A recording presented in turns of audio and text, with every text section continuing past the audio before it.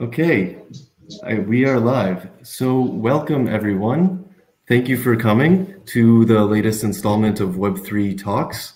Uh, and today we're going to be talking about decentralized identity, uh, building blocks for a better web. Um, so, a lot of, a big pillar of Web3 is identity.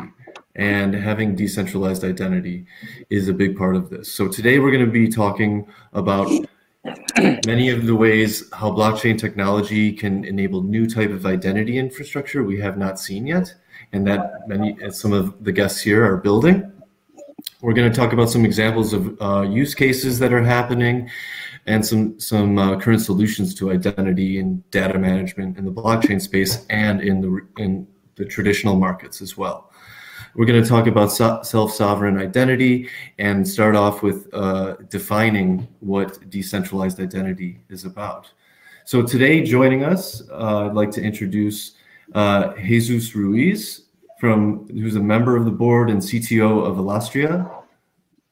We have Jun Li, founder of Ontology, and Ingo Rube, founder of and CEO of uh, Bot Labs, which is a stewarding the KILT protocol. So to begin, um, I'd like to ask Ingo, um, what is identity and what is decentralized identity? And is it is that the right term to call this? What we're doing here? Yeah, so um, that, that's a that's a very interesting question actually. What is identity?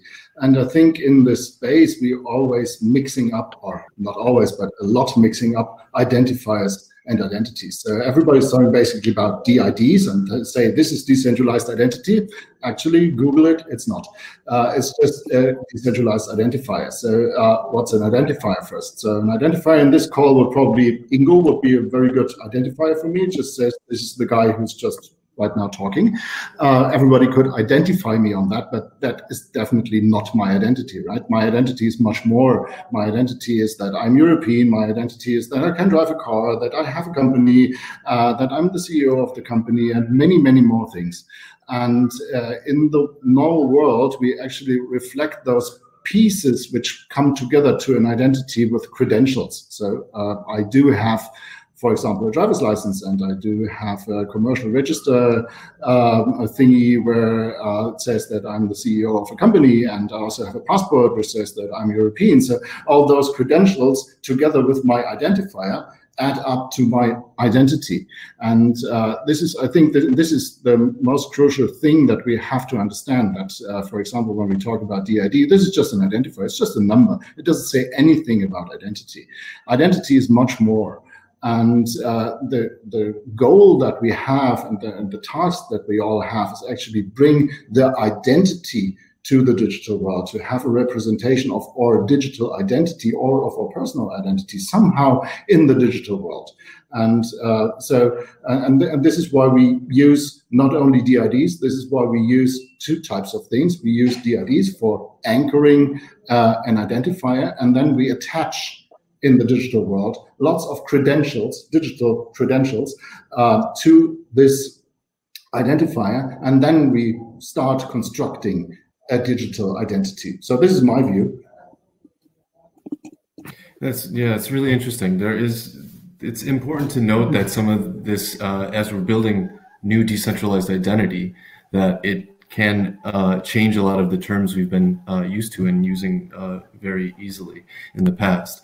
So like uh, for for Jun Li, um, you're building a new uh, identity solution, and how does blockchain enable this preferred identity solution for ontology?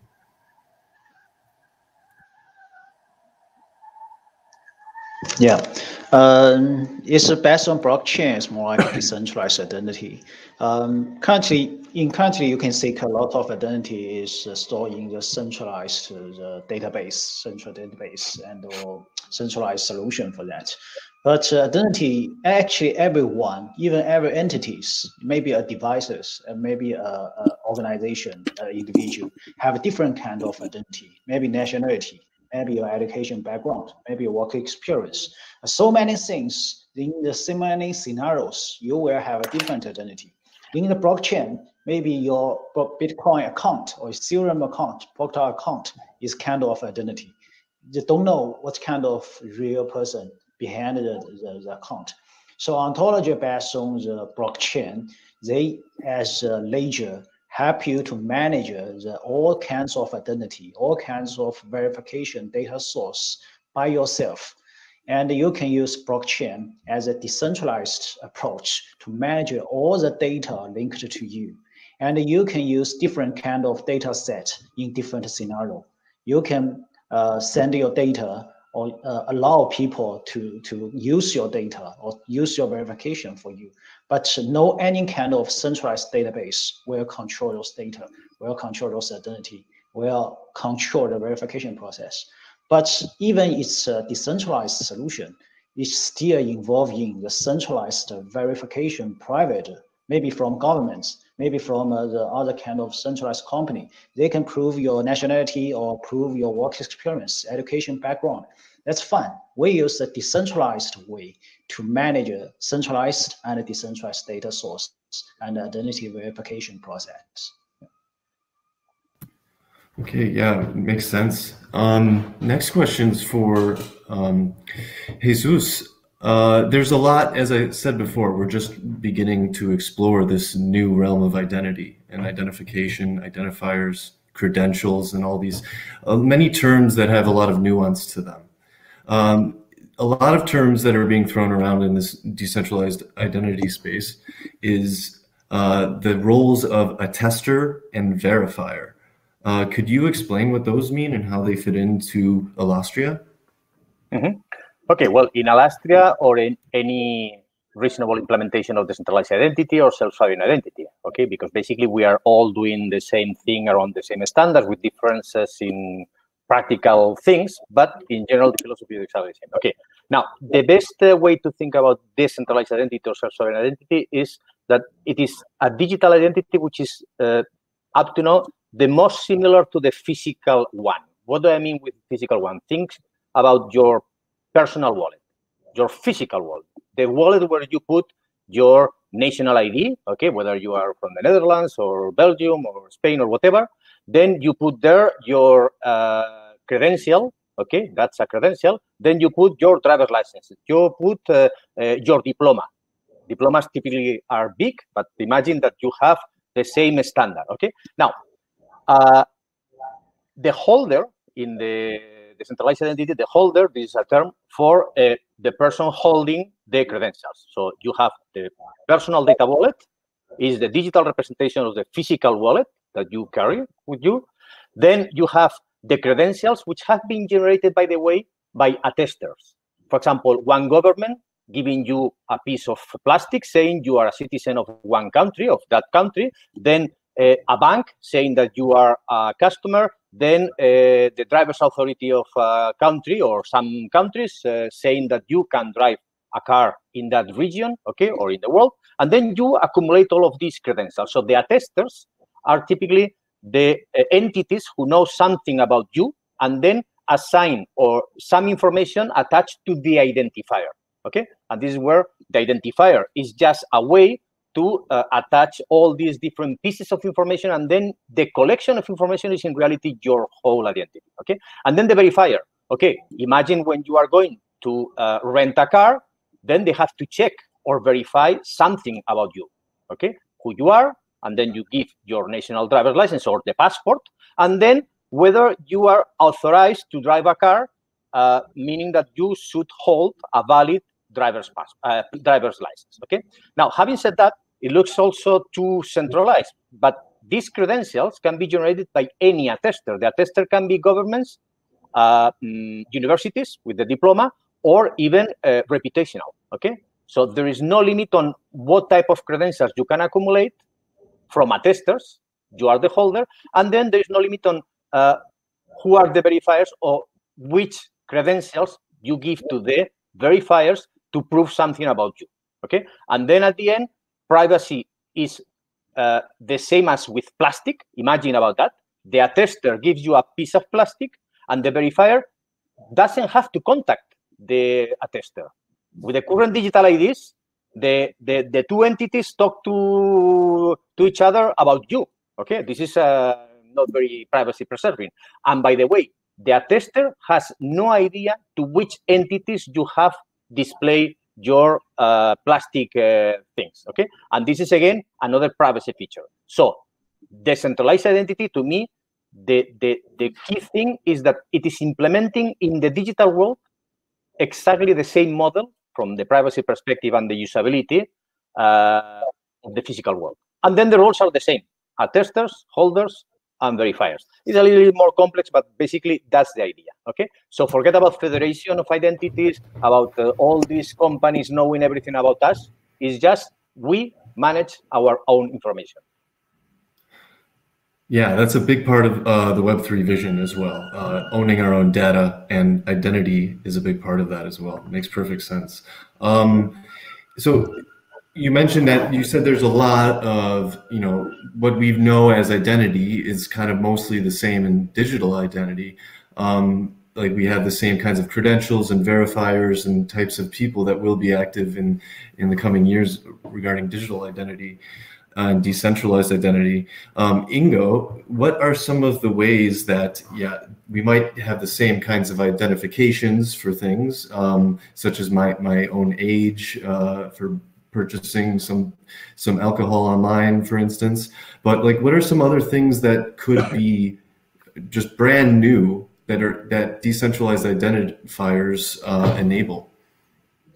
Yeah, so I, I think when we uh, when we talk about the this real world or the uh, the analog world, we always we, we always go in the direction, and we've seen that in the uh, explanations that we heard. It's it's always about people.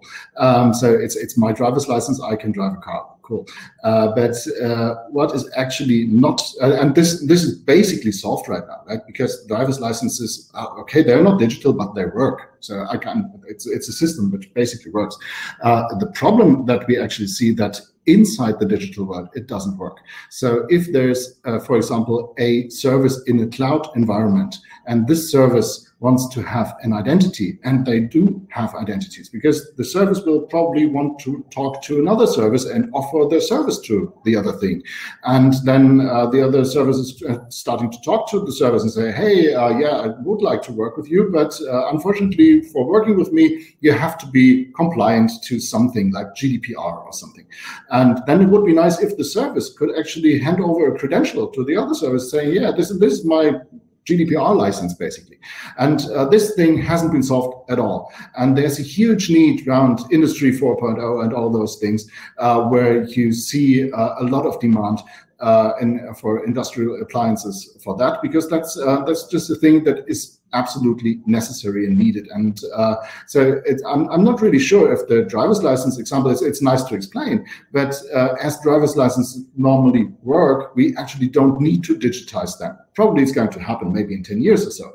Uh, but there, there's no business need for that. There's, there's, but there's huge business need for other things, uh, like, for example, uh, services, IoT devices, and all those things, uh, which need to have, which need to build their own identity by being able to show credentials and having them attached to a decentralized identifier. I think there's uh, there's a lot of uh, new things we will we are going to see in the future. Great. Yeah. I would like to add something yeah. uh, uh, just just to, to, to stress this fact because when we think about the decentralized identity, we are uh, typically focusing on the on the persons, on natural persons. But for juridical persons, businesses and entities, there's uh, also a need for doing this. Okay, uh, uh, Ingo mentioned this, but at the end, for example, in the European Union, you have 30, 30 million businesses. Okay, and then even in the European Union, the identities are not very well homogenized, and then self-sovereign identity for the companies, enabling peer-to-peer among companies, because when we talk about peer-to-peer, we talk about people, but in reality, the wealth of the countries, the GDP, the gross domestic product, is generated by businesses. And this is exactly what we have to do in order to enhance the economy, to, to, to improve the efficiency of the economy by implementing peer-to-peer economy, okay, between companies, and self-sovereign identity is going to be so much useful for businesses as it is going to be for people. And then things and processes and so. So any anything will have an identity, and then a self-sovereign identity uh, to assign credentials to that entity.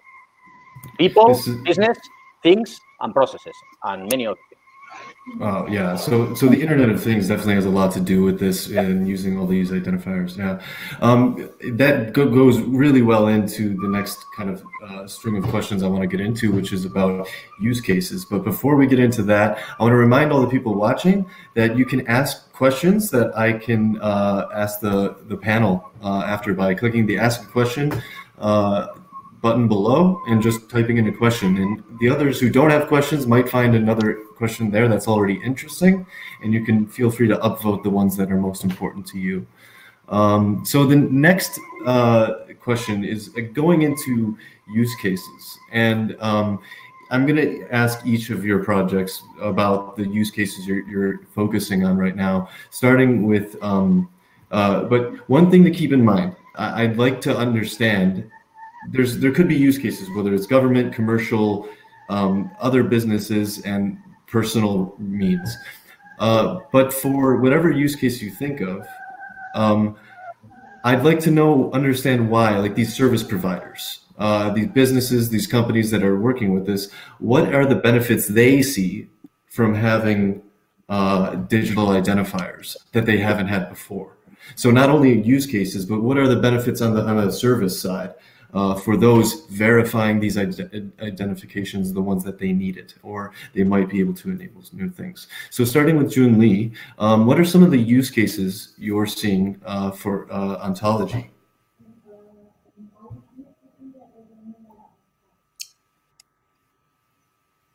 He's muted. Uh, you're muted. Sorry. Ivana, can you uh, unmute him? Sorry. Uh, hold on. One second. While while we get that fixed, I'm sorry, Jun Li. Okay.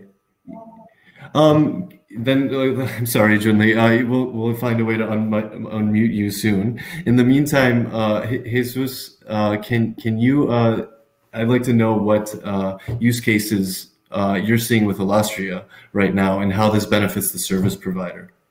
Okay, let me let me uh, put one related to there are basically two that I like, but one which is related to companies, okay? Because there, there was a question in, uh, asked there, okay, for business identities. Now, imagine that in Spain you have the big banks, by the way, big banks in Europe, then big energy companies, then telcos, then, uh, I mean, big, uh, big companies. Now, uh, it happens that uh, Europe is uh, the region in Europe with the most small and medium enterprises, okay? So the economy depends on small and medium enterprises, SMEs.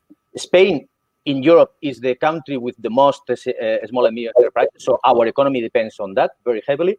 And then, for example, uh, for those big companies, they share providers. I mean, providers is uh, whenever they have to buy something, the, the, the, the logistics chain.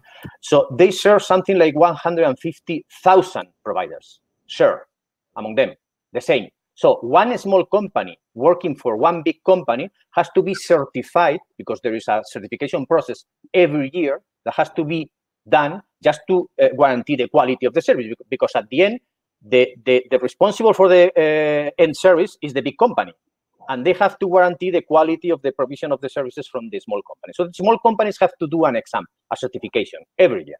This is incredibly costly. And the small company working for several big companies, they have to do this several times, even though they are asking mostly the same questions. So imagine they agree on a common certification process, and then they give, when you have, I am a big company, you are a small company, you certify with myself, I give you my credential, and then you hold a credential like a business, not people, not person, and then you can prove that you are certified with me to another big company. And then the big company can accept this because we have, uh, let's say, agreed on the same level of, of certification. This is saving a lot of money to the small companies, to the big companies, because onboarding and certification is a cost for both. Uh, it's streamlining the whole process. So it's an enormous amount of money that uh, can be saved. This is one use case that I hope will go into production very soon. And the other one is, again, big companies, energy companies and so on, uh, imagine the following. You are uh, a buyer of a house, and then the building company okay, knows you. But then when you have the house, then you have to contract the gas, water, electricity. And then you have to prove something. This is a nightmare right now with papers. Imagine that the housing company uh, gives you a credential that you are the owner of this house, and then you just present the credential. And then you can sign the contract automatically because the big companies have agreed that they they have agreed on the on the say the level of verification of the credentials. And then this is good for the citizen, for the company who is the utility provider, and for the housing company. Okay, and even for immigrants coming to Spain to uh, make business. Okay, because then they don't have anything. They can open a banking account again, just with that identity, because the housing provider, the housing, the, the, the, building company knows you perfectly because you have paid a, an enormous amount of money. Okay, and they know you. This is identity, and this is good for everybody. Okay. Good. Yeah, yeah, makes makes sense. Uh, Jun Li, if if you can hover your cursor over your screen and press unmute, that might help. We're having difficulties unmuting you. Um, if that's possible, that might be the issue. Um, but going straight, moving along and going straight to Ingo, like what's what's an example of a use case you're seeing for KILT that really benefits the service provider? Yeah, so uh, yeah, well, I can maybe make an example. Can't really say the names of the companies, but there will be a press release tomorrow.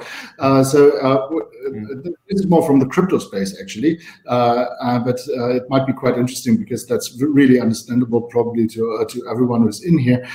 so you all know the problem when you register with a centralized exchange that you need a KYC, right? And it's always a little bit annoying to have the KYC again and again. And normally the KYC provider uh, just doesn't give you the data or uh, you don't own it. Right? It's owned by the KYC provider or by the exchange you, um, you're going with, and then you have to do it all over again. And uh, what we're going to announce actually is a collaboration with one of the exchanges and one of the KYC providers.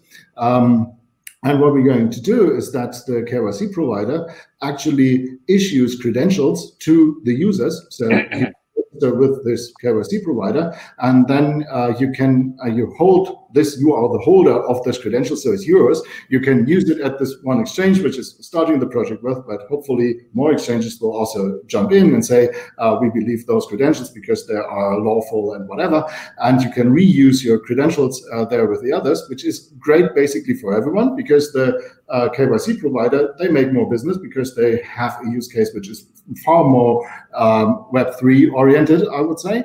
It's great for the exchange because they can uh, they can reuse all the um, all the people who are already registered with the KYC provider. There's I don't know 140,000 or so. There, so they have a great customer base for the beginning, which is cool, um, and it's good for the user because the user can actually do this once and it's probably paid by someone, probably by the exchange, that uh, because that's onboarding costs, and uh, then they have their credential and they can reuse it with the next exchange or with the, uh, the next thing they want to um, want to have uh, their KYC for. So uh, this is something really, really practical as used in the crypto space, and uh, we found great partners to build this with. So this is, um, yeah, I, I think nice example. Yeah, yeah, it's good, and I think we can hear Jun Li now. Yeah. Okay. Hello? Can you hear me okay, now? Great. Yeah, I hear you great. great. Um, okay. So the question again uh, was, uh, what's what's a, an example of a use case uh, that you're excited about at Ontology, and yeah. what how does this benefit the service provider? Okay. Um, actually, currently, uncertainty and data is still in the very initial phase. Yeah. It's still, still not kind of mainstream solution for most business scenario.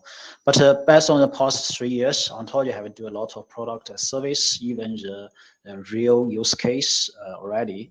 Uh, one case is we already uh, have a, the data, personal data wallet.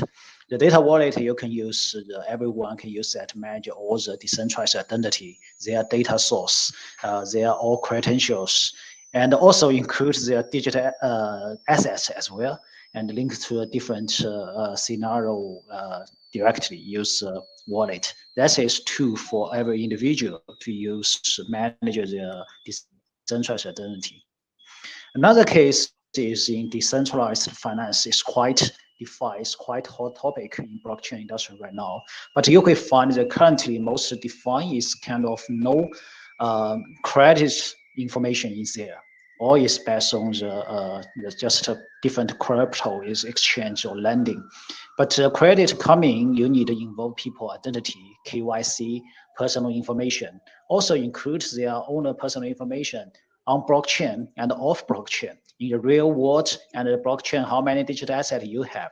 So we are, have a credit-based uh, financial service called WING, W-I-N-G. They will use the decentralized identity and data to verify your credit score, credit score. The credit score is based on your on-chain information um, on blockchain, on Ethereum, on Ontology. Also include your off-chain information, your uh, real nationality, your background. And then you can based on that, you can have some financial service um, that is better for that. Another the industry in Europe, we work together with um, Mercedes-Benz, the Daimler company, have uh, for the automobile to uh, uh, application called Welcome Home. You can use that to manage your data in the in your car, different uh, driver uh, behaviors and other informations. You can manage the data by yourself. Sometimes you can send a message to insurance company or other finance company to pass on your automobile data to private service for you. So that is also a kind of case. Apart on that, we still have other internet case like the Michael Walkies for jobs market. You can record all your work experience as a credential. You can reusable in different uh, internet platform uh, to prove how many works, what kind of work experience before online. So all those is real case already. We're still ex exploring uh, the more case in next phase. Yeah. Yeah, it's really great to hear. Um, next question for for Ingo is that you talked about all these digital identifiers that were were expanding, and it sounds like there's a lot more that's going to be identified um, with this explosion of that is probably going to come with the new wave of decentralized identification. Um, regarding all of these new identifiers and such, how is it? Um, could there be more of an issue of more the ability to hide uh, false identities or have some inaccurate information that might be overlooked with this explosion of, of new credential, uh, this huge amount of credentials and identifiers. Mm, I think I don't really understand the question. So uh, you mean you have like how, how, how do you prevent fraud and like and and you know false identification? How do you ensure the accuracy uh, with the influx of all these new identifiers that are coming out? Yeah, so who's doing um, the checks and balances? Um, well, I think it's going to be quite well. So, so just to rephrase the problem. Uh, so uh, basically, in an open system like that, I could start issuing driver's licenses now because I say I'm an attester now. I put I'm going on one of those three blockchains, and I start issuing driver's license. They just cost five euro, uh, so uh, pretty cheap. Um, the problem with that is uh, that this business model is not really sustainable because no one will probably buy my driver's license because uh, the verifier is missing, right? So uh, nobody actually. Uh, no policeman actually out there will um, accept a driver's license, which is just issued by Ingo. so, uh, if the verifiers are missing, then the business model of the fraudulent attester basically uh, collapses. And th this is so it's it's market driven. So there's there's nothing uh, on blockchainy or, or, so behind that. That's that's pure market mechanisms which are behind that. If but if I'm an, an attester which can uh, really do a good job. So for example, um, I'm now going to uh, be an attester for people being a nice person. Uh, so I have to build some reputation out there in the world with with verifiers. So it must it must be that someone comes to me and say, hey, please can you verify that I'm a nice person? That I not just give the credential to this person, I have to do some research if this is really a nice person. And if I do good research there and I also do good marketing around my service, uh, then many people will probably accept that, and I will have a thriving business on accept uh, on, on credentialing uh, that that people are uh, doing uh, that are they are nice uh, persons. Um, and but on the other hand, if, if I neglect my business model. So if I start now uh, to be fraudulent and just issue everyone just because I'm greedy and I want the money from for the attestations, uh, then this uh, this will actually make the round and people will find out about that and then my business collapses so i think the uh, this this thing is actually not solved by cryptography this is solved by market on top of that uh, we have nice things that are actually solved by cryptography uh, because on the when, when we think of the physical credentials we were talking about before when i take my driver's license and uh, show it to the guy who wants to rent me a car uh, this guy is probably going to compare the photo on the uh, on the driver's license with the guy standing in front of him. And uh, if that doesn't match he would probably say hey this is maybe a good driver's license but probably this is not you so i'm not going to give you the car. Um, this is things that we can solve cryptographically uh, because we can make cryptographic challenges uh, and find out if the uh, person presenting the credential is actually the person that is linked to it uh, by the decentralized identifier. So th this is what we can solve with cryptography. The fraudulent uh, uh, things are, I think, more solved by market um, market mechanism. If we would try to solve this with a machine, uh, I think we would move actually in the wrong direction. For one, uh, because uh, people are used to have those authorities out there, and uh, they uh, they will probably rather accept that. Um, so, to make an example here, so in a credential could also be somebody comes into my office. So there, there's the door, and this door has to be opened by a key. Uh, so I don't want a crowd uh, intelligence or so to find out who actually can enter my office. Actually, I want to be the attester for who's going to enter my office or not. So I, I think we have to uh, we have to stick with those authoritative uh, attesters, which do um, which which do own um, credibility in a community and then make a business on top of that. So I think this is the way to go. Yeah. Yeah. But, Did you want to say I would like to add, something with a very simple example. Uh, I mean, I, I, fully agree. Okay, I, I, think that right now there are many, many things which are already uh, they already have an identifier. Look, your computer, your motherboard has a has a unique serial number. All the serial numbers in the world they, they are registered in different repositories, managed in different ways. So this decentralized identity system with verifiable credentials, okay, verifiable credentials is the equivalent to the driver license. Uh, they are only going to improve this. Doesn't mean that it's going to be perfect, but there is only improvement.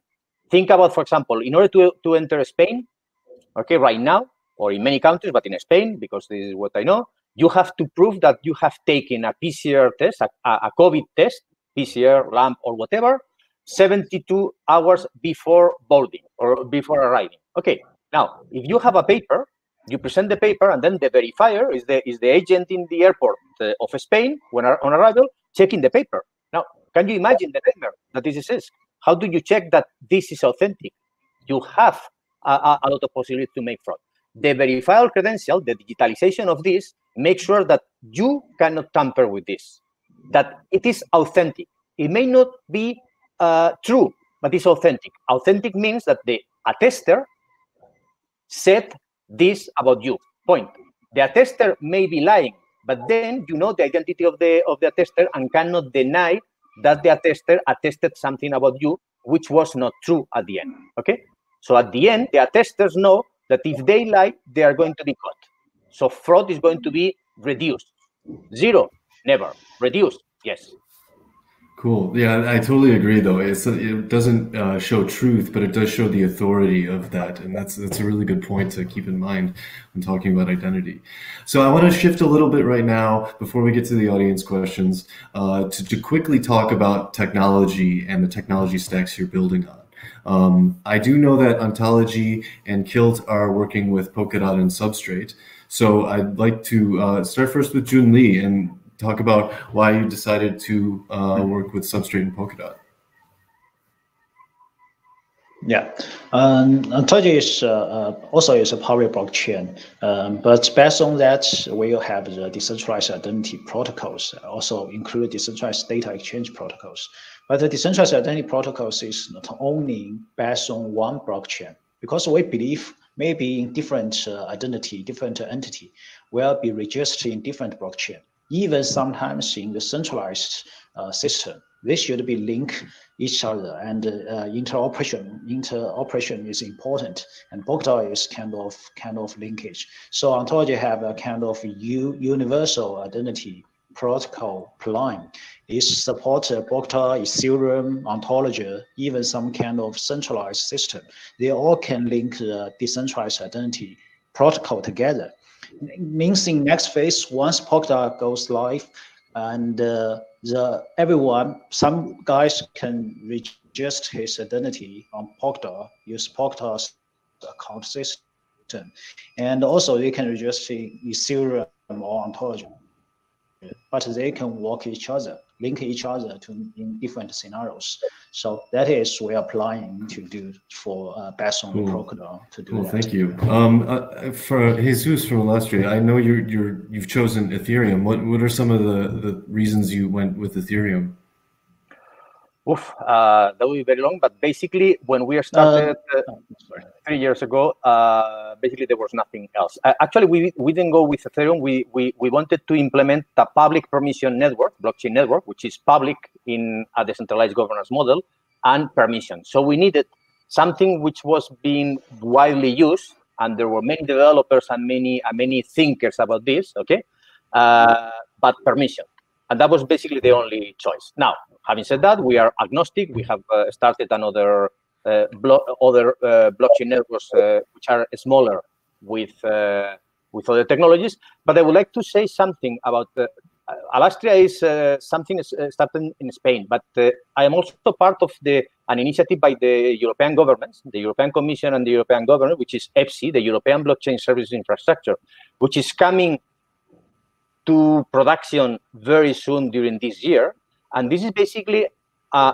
an European blockchain network uh, for providing better services, cross-border services uh, from the public administrations to the to the citizens. Okay, and this is uh, approaching production, and this is uh, implementing self-sovereign identity. And again, uh, they chose at the beginning, or we chose also Ethereum-based technologies and also um, Fabric. Okay, but there is right now a PCP, a, a, a procurement process which is open so anybody can go and say to the European Union, okay, and there is money there, to say, hey, I have a fantastic blockchain technology which is fitted for the requirements. By the way, the requirements are related and is, are in the documents, okay? Uh, so uh, anybody can say my blockchain technology or my evolution of the blockchain technology is suited to these requirements, and the requirements again are suited to the uh, green economy to the circular economy, to the tracking of uh, devices in the European Union. And then just give me, let, let, me give you some numbers, okay? But basically, they are asking for something that can support uh, 500 million people, 13 million businesses, okay, in the same network, okay? Then uh, for IoT-enabled customs item tracking, okay, so devices entering the European Union and crossing, and crossing borders, uh, 25 million new product registrations per minute, 25 million per minute, 15 billion total transactions per minute, 15 billion per minute. Uh, this is including uh, reads, okay, and 120 trillion, 120 trillion, I repeat, updates over the course of one year, okay. So those are the requirements for uh, the next generation blockchain technology that the European Union is looking for to enable the digitalization of the whole European space. And this is a huge thing. So I would say that, mm, okay, uh, when starting, it was a totally immature world. The, the, the blockchain is still immature, is, but has matured in three years uh, a lot. And I would say that anybody who really wants to solve the real problems cannot say, this is the technology and this is going to be solving all the problems in the world. That's impossible. So you have to choose the technology depending on the problem and so on, and you have to be agnostic. If, if you really are at the, at the solution space, okay? And then just try to fit the requirements to the people who are developing the blockchain infrastructure so they know exactly what requirements are the really important to solve the problems of, of, of humankind, not just of uh, investors, for example. Okay, so I'm talking about the real economy, not just the financial economy. Yeah, yeah, the, the, it's definitely an early space, as as Jun Li said before, and there's a lot of requirements that the technology is, is just catching up with. I do know that uh, Ingo and, and uh, the people at Bot Labs working on Kilt protocol uh, are actively developing uh, for their solution some some new things for the substrate uh, framework. Uh, what are some what's been some of the activity you've been doing on substrate? And then we'll get to audience questions. I'd, I'd, like first to say why, why, we actually, because I think it fits very good with the with the uh, the other two answers. Why, why we actually decided uh, to go on uh, Polkadot and, and build on, on Substrate. Uh, the, the the thing was uh, you have well, we saw that in what uh, Jesus just said.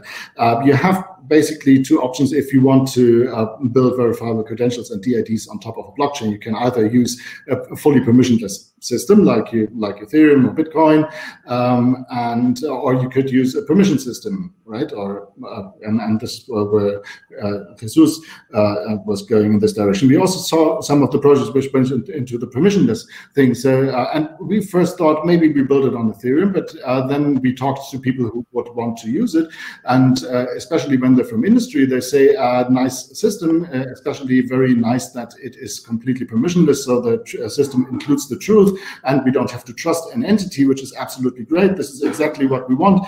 Uh, but then uh, actually you can't say how much the gas cost is, and it can go up. And when it goes up, then we we don't know about our production cost, right? And if you don't know your production cost, you can't make a cost for your product. And then the people say, we're off. I'm, I'm sorry. And uh, then a lot of projects uh, went into the direction saying, uh, let's make a permission blockchain like on Fabric also.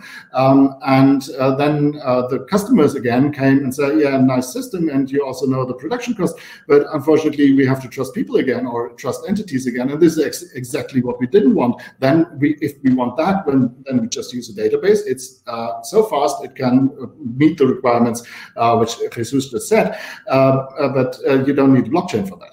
And uh, then came, so this is a dilemma. So either you have truth in the system or you know the cost, right? So uh, there's no way around that, we thought. And then came Polkadot and now this is the solution for it. And this is our reason why we went actually onto this um, uh, in, into uh, into this development uh, because when we are a parachain, uh, we know the cost of uh, an, a transaction. So we can put a fixed transaction fee uh, to things, and still we do have the truth of a permissionless system in there because we derive the truth from the relay chain. And uh, I think this this uh, this technology of Polkadot is the the only, as far as I know, the only technology in the world which actually can provide this.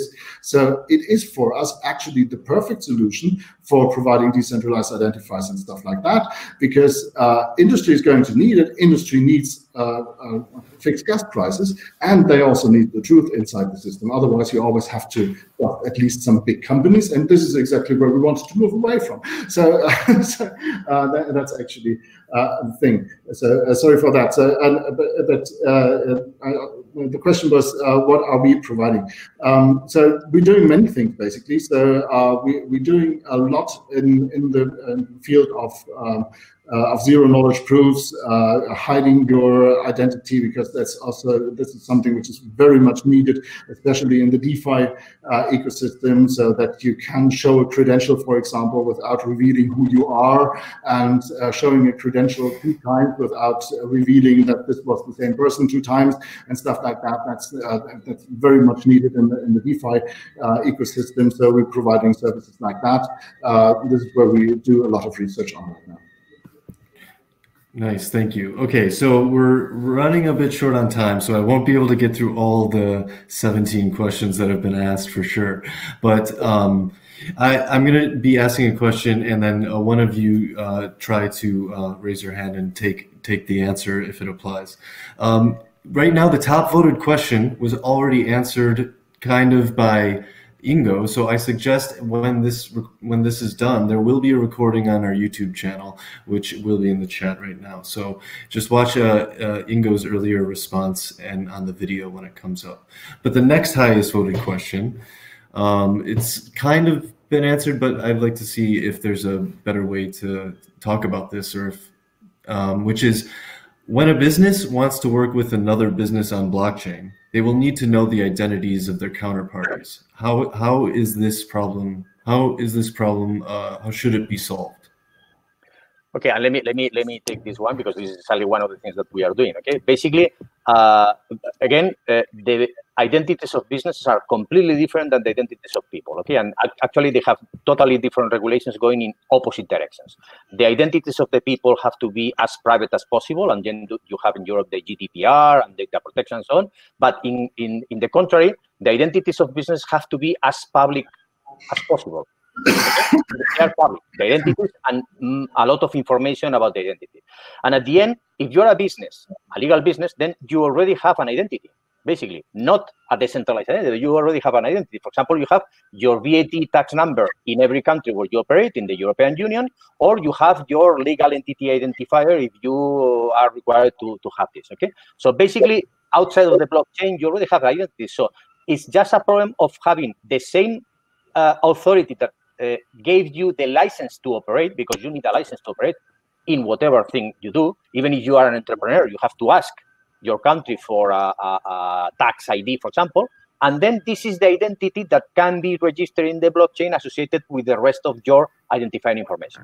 Okay, so in the case of businesses, it's much, much easier than in the case of uh, people, because in the case of people, if you register some personal information in the blockchain, then you mm, have a problem. Okay, so in the businesses, very simple. It's just the attester.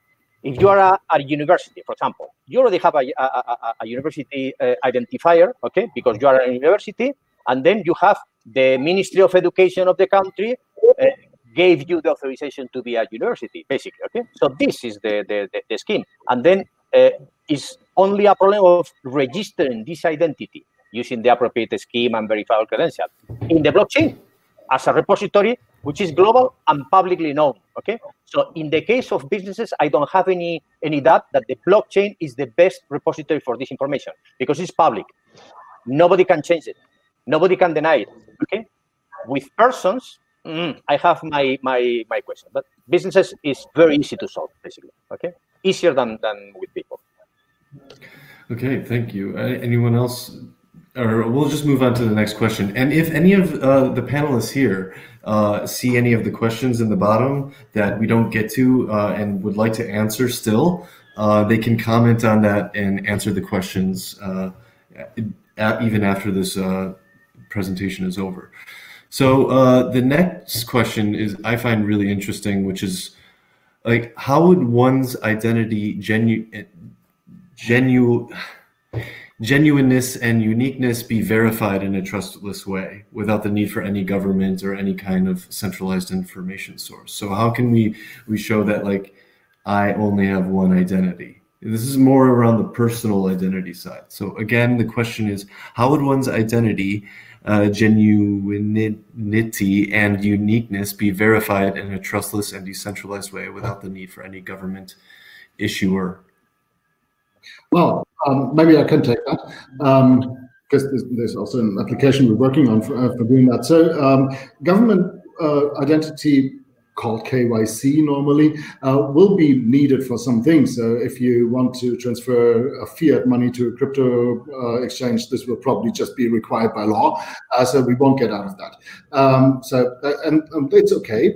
You can just put uh, you take a credential from a KYC provider and then you're good to go. Uh, there's other use cases where, uh, for example, a person just wants to have a social KYC. So just uh, link this, link your DID up to your um, LinkedIn account, your Twitter account, your Riot account, and whatever, uh, and maybe your GitHub account, and uh, then uh, and prove that you actually own those accounts, and then you have proven uh, that you are the person in a quite nice way. You can then maybe also attach a couple of Bitcoin and Ethereum addresses to that if you want, and then people know that okay, the guy who has control over this Twitter account is also the guy sending you this address if you want that. Um, so that, that, there's many ways that you can actually to do that. Um, and uh, sometimes there will be even more. So the social things, I, I think, will be even more valuable than the government-owned things in a way. Uh, so there, there's many ways. Mm -hmm. Yeah. Yeah, I, I, would like uh, also to, to add probably that, uh, uh, as Ingo said at the beginning, uh, we don't have to confuse identifiers with identities, okay? So the identity is uh, exactly what you are. If I am a national of Spain and then I have my Spanish ID in a digital form uh, generated by the Spanish government, and then I go to a verifier and say, hey, you have to prove your uh, nationality. I cannot invent this. I can only present the only one that I have if I only have one nationality. So I only have one identity.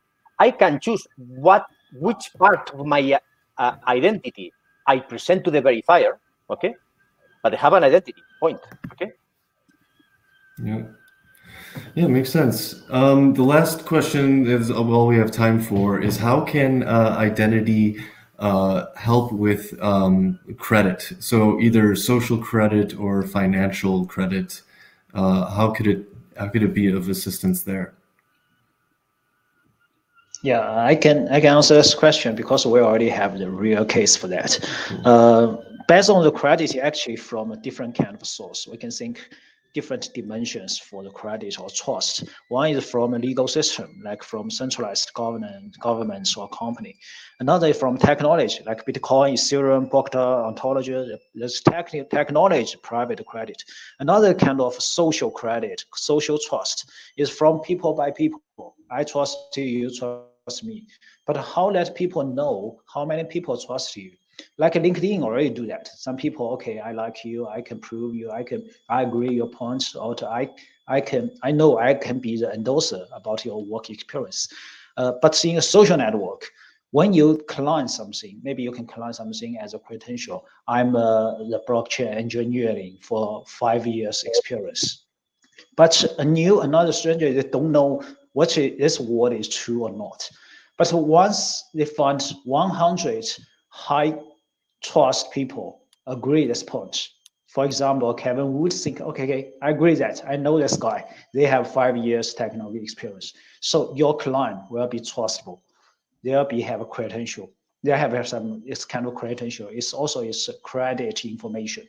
You can use the credit information, create a credit score, social credit score. Use the score build your trust in different scenarios. So that means not only legal, not only technology, even the social network also can build the new kind of trust with the decentralized way. So that is the scenario. Actually, the actually I mentioned the decentralized financial service or decentralized financial already use those kind of credit score. You can use the credit score to apply the financial service already. So it's a good case for that. Yeah. Well, that's really interesting. It's really good to see the use cases coming very quickly. Um, and thank you. Uh, we're out of time right now. Thank you so much to all the panelists uh, for coming. Uh, I just put their their information and websites uh, in the chat that everyone can see and click on and find out more about each of their services. Um, and this was one of the most, maybe the most popular attended uh, Web3 Talks uh, event, and we're very happy about that. To anyone here who wants to find out when we have more events coming up, uh, go to polkadot.network slash community, um, and we'd be happy to have you again. Uh, thank you again to all the panelists and everyone for coming. It was a really good, I enjoyed this a lot. Nope. Thank yeah, you very thanks, much. And, uh, thanks, everyone. I, I have that there are many questions yeah. which are interesting, and we couldn't have time to answer them. And that's, yeah. uh, I, I, don't know if uh, something can be done, okay, offline or whatever. Yeah, you can answer by just commenting. You can answer uh, the questions right here. Yeah, and then those who answer ask questions can wait and see if they get answered. So you can just stay online. We'll end the the stream, and you can keep answering questions. Okay. Okay. All right. That's good. Thank you. Okay. Thank you. Thank you, guys. Bye. Bye. Bye.